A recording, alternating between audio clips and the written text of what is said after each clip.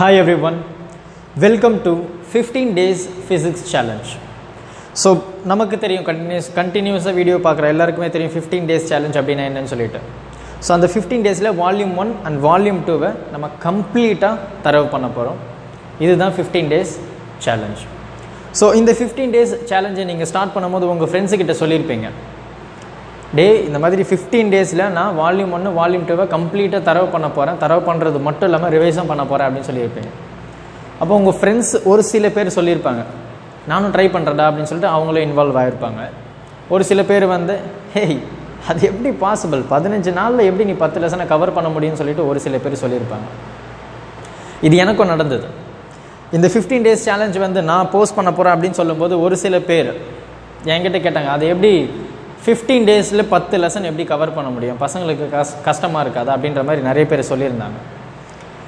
அதுமாதிரி எனக்கும் தோணுச்சு ஐயோ பசங்களை ரொம்ப ஸ்ட்ரெஸ் பண்ணுறமோ ரொம்ப ஹர்ட் பண்ணுற மாதிரி டைம் டேபிள் போட்டு கொடுக்குறோமோ ஸ்கெடியூல் போட்டு கொடுக்குறோமோ அப்படின்னு சொல்லிட்டு எனக்கும் ஃபீல் ஆச்சு. ஆனால் அதெல்லாம் யோசிச்சுட்டே இருக்கும்போது ஒரு சின்ன கோட்ஸ் வந்து நான் பார்த்தேன். அந்த கோட்ஸை உங்களுக்கு நான் சொல்லணும் அப்படின்னு ஆசைப்பட்றேன். ஸோ இந்த ஃபைவ் டேஸ் வரைக்கும் சஸ்டெயின் பண்ண உங்களுக்கு ஃபஸ்ட்டு ஒரு பெரிய பாராட்டு. இன்றைக்கி நம்ம இருக்கிறது சிக்ஸ்த்து டே அது என்ன அப்படின்னா அந்த கோட்ஸ் ரொம்ப அழகாக இருக்கும். கரெக்டாக யோசிச்சு கிளியராக நோட் பண்ணுங்கள் பெரும்பாலும் லட்சியத்தை நோக்கி செல்பவர்கள் எப்படி? பெரும்பாலும் லட்சியத்தை நோக்கி செல்பவர்கள் பலரின் அலட்சிய பேச்சுகளை கண்டுகொள்வது கூட இல்லை. ம்? பெரும்பாலும் லட்சியத்தை நோக்கி செல்பவர்கள் பலரின் அலட்சிய பேச்சுகளை கூட கண்டுகொள்வதில்லை. புரியுதா? ஸோ நம்ம ஒரு லட்சியத்தை நோக்கி போகும்போது நிறைய பேர் வந்து நெகட்டிவ் தாட்ஸ் வந்து கண்டிப்பாக கொடுப்பாங்க. ஏன்? நமக்கே ஒரு சில சுச்சுவேஷன்ஸில் நமக்கே நெகட்டிவ் தாட்ஸ் வரும்.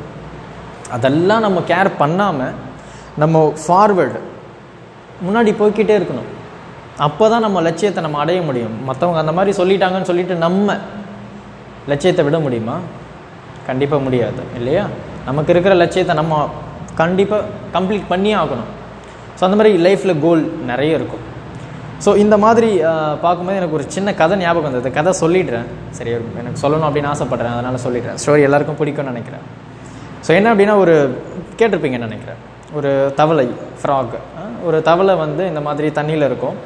ஒரு மரத்துக்கு மே- மரத்து மேலே ஏறி போயிட்டு அந்த டாப் எட்ஜை யார் தொடுறாங்களோ அவங்க தான் வந்து அந்த தவளை கூட்டத்துக்கு தலைவன் அப்படின்ற மாதிரி.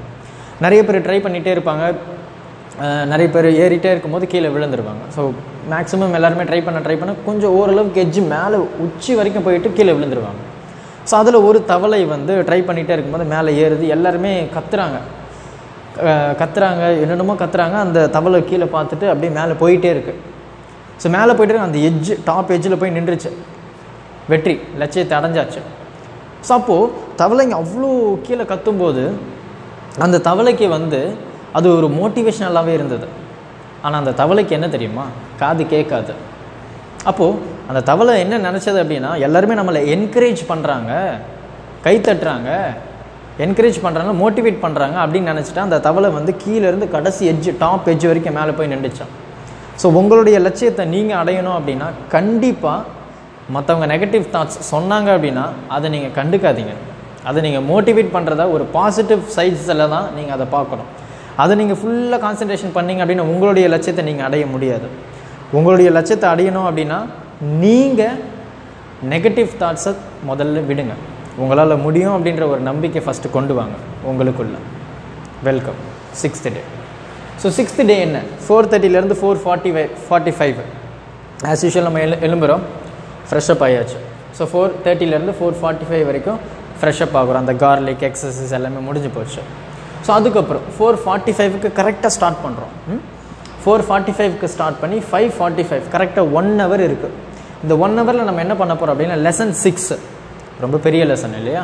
டுவெல்த் ஸ்டாண்டர்டுக்கு ஸோ அப்போ அந்த லெசன் சிக்ஸில் இருக்கிற டூ மார்க்கும் த்ரீ மார்க்கும் கவர் பண்ண போகிறோம் ரைட் ஸோ ஃபோர் ஃபார்ட்டி ஃபைவ்லேருந்து ஃபைவ் ஃபார்ட்டி வரை ஃபார்ட்டி ஃபைவ் வரைக்கும் லெசன் சிக்ஸில் இருக்கிற டூ மார்க்கும் த்ரீ மார்க்கும் அதுக்கப்புறம் ஃபைவ் ஃபார்ட்டி ஃபைவ்லேருந்து ஃபைவ் ஃபிஃப்டி ஃபைவ் அதே டென் மினிட்ஸ் பிரேக் முடிஞ்சு போச்சு. அதுக்கப்புறம் மறுபடியும் மறுபடியும் கரெக்டாக ஃபைவ் ஃபிஃப்டி ஃபைவ்க்கு ஸ்டார்ட் பண்ணி செவன் ஓ கிளாக் வரைக்கும்.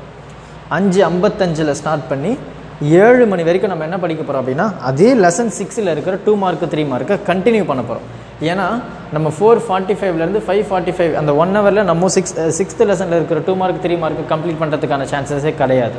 ஏன்னா அவ்வளோ இருக்குது ஸோ அதனால தான் இங்கே நான் கண்டினியூ கொடுத்துருக்கேன். ஸோ இப்போ ஃபைவ் ஃபிஃப்டி ஃபைவ்லேருந்து செவன் ஓ கிளாக் வரைக்கும் லெசன் சிக்ஸில் இருக்கிற டூ மார்க் த்ரீ மார்க்கை மறுபடியும் நம்ம கண்டினியூ பண்ணுறோம் முடிஞ்சு போச்சு ஸ்கூலுக்கு போயிட்டு வந்துட்டோம். கரெக்டாக சிக்ஸ் தேர்ட்டிக்கு ஈவினிங் ஸ்டார்ட் பண்ணுறோம் சிக்ஸ் தேர்ட்டிக்கு ஸ்டார்ட் பண்ணி செவன் தேர்ட்டி வரைக்கும் லெசன் எயிட்டில் இருக்கிற ஃபைவ் மார்க்கு ஸோ சிக்ஸ் தேர்ட்டிலேருந்து செவன் தேர்ட்டிக்குள்ளே லெசன் எயிட்டில் இருக்கிற ஃபைவ் மார்க்கை நம்ம கவர் பண்ண போகிறோம் சரியா?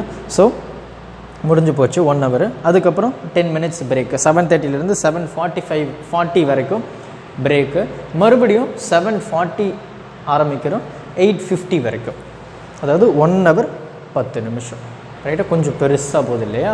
இந்த லெசன் டே சிக்ஸ் வந்து கொஞ்சம் ஷார்ட்டாக இருக்கும். நிறைய படிக்கலாம். டைம் எக்ஸ்ட்ரா கொடுத்துருப்பேன். சரியா? ஸோ செவன் தேர்ட்டிலேருந்து செவன் ஃபார்ட்டி வரைக்கும் பிரேக்கு செவன் ஃபார்ட்டிக்கு ஸ்டார்ட் பண்ணுறோம் எயிட் ஃபிஃப்டி அது வரைக்கும் நம்ம என்ன படிக்க போகிறோம் அப்படின்னா லெசன் ஃபோர் அதில் இருக்கிற ஃபைவ் மார்க்கை படிக்க போகிறோம் ரைட்டா ஸோ லெசன் ஃபோரில் இருக்கிற ஃபைவ் மார்க்கு முடிஞ்சு போச்சு. அதுக்கப்புறம் எயிட் ஃபிஃப்டிலேருந்து நைன் டுவெண்ட்டி இதில் நம்ம பிரேக்கும் எடுத்துக்கிறோம் ப்ளஸ் டின்னரு தேர்ட்டி மினிட்ஸ் இருக்குது முப்பது நிமிஷம். சரியா? ஸோ எயிட் ஃபிஃப்டிலேருந்து நைன் டுவெண்ட்டி வரைக்கும் டின்னரு ப்ளஸ் பிரேக்கு முடிஞ்சிச்சு. மறுபடியும் நைன் டுவெண்ட்டிக்கு ஸ்டார்ட் பண்ணுறோம் டென் டென் வரைக்கும். ரைட் ஸோ நைன் டுவெண்ட்டிக்கு ஸ்டார்ட் பண்ணி டென் டென் வரைக்கும் நம்ம என்ன படிக்க போகிறோம் அப்படின்னா ஃபிஃப்டி மினிட்ஸ் இருக்குது சரியா? ஸோ அதில் நம்ம என்ன கவர் பண்ண போகிறோம் லெசன் ஃபோரில் இருக்கிற டூ மார்க்கு ப்ளஸ் த்ரீ மார்க்கை கவர் பண்ண போகிறோம் சரியா? ஸோ இதுதான் டே சிக்ஸோட ஸ்கெடியூல் ஸோ கரெக்டாக ஃபாலோ பண்ணுங்கள் எனக்கு நான் நோட்டீஸ் பண்ணிட்டு தான் இருந்தேன். டே ஒனில் நிறைய வியூஸ் இருந்தது. Four five five thousand something day two three thousand ஆச்சு. டே ஃபோர் டூ தௌசண்ட் அப்படின்ற மாதிரி ஆச்சு. Day four sorry day three and day four வந்து thousand two hundred thousand three hundred ஆச்சு. Day five seven hundred eight hundred எனக்கு views matter இல்லை. But ஆனால் உங்களால் முடியலன்னு சொல்லிட்டு பின் வாங்குறீங்க இல்லையா? அதுதான் எனக்கு ரொம்ப கஷ்டமாக இருக்குது ஸோ அப்படிலாம் இருக்காதீங்க. ட்ரை பண்ணுங்கள் சரி உங்களால் கண்டிப்பாக முடியும். உங்களுடைய வாழ்க்கை உங்களுக்கு மட்டும்தான். உங்கள் லட்சியத்தை அடையணும் அப்படின்னா நீங்கள் விடாமுயற்சியோடு இருந்தால் மட்டும்தான் உங்களால் முடியும். பொறுமையாக இருங்க. ம்? Thank you help others with a smile.